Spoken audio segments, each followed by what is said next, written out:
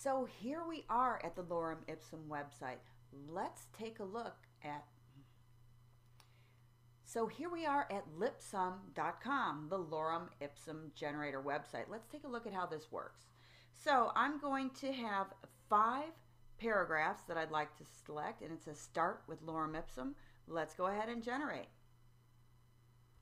Look at that, that quickly. And then I can simply copy, paste it in a text editor program such as TextEdit. Let's go ahead and open up a new window, paste it, do a file save as. Let's save it to my desktop, and this is text. And that's all there is to it. Do a little import into InDesign or QuarkXPress, and I am good to go.